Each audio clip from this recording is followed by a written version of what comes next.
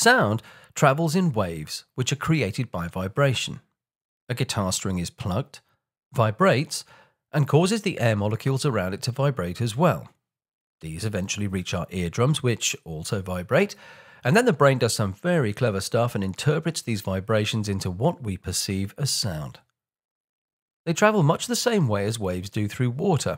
Drop a pebble into a pond and watch the ripples spread out. Make a noise, and something similar happens to the molecules in the air. We can simplify this by using what's called an XY graph to show the properties of a sound wave. Here's an illustration of a simple sine wave drawn on an XY graph.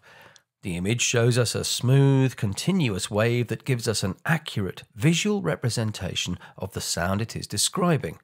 Note that the waveform starts at zero and ends its complete cycle back at zero. Here's a quick example of a sine wave.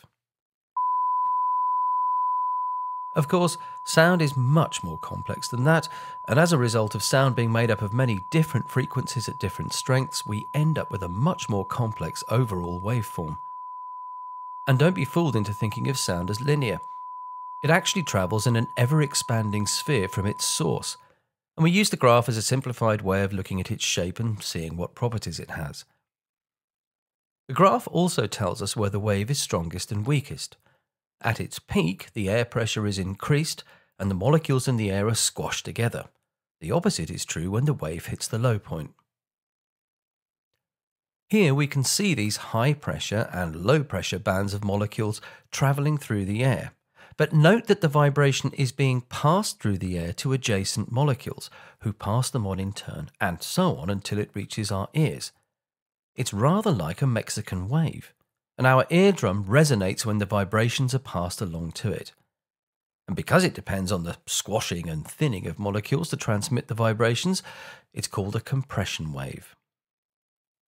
As the sound moves from high to low amplitude, the higher volume, and therefore higher energy bands in the sound wave, compress the molecules, which in turn move out and compress their neighbours, swiftly followed by the low energy bands where the molecules are thinned.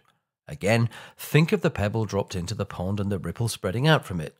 These ripples are a direct representation of the energy caused by the pebble hitting the water. And much the same thing is happening with the water molecules. The peaks of the waves are the high energy, and the low areas, well, you get it.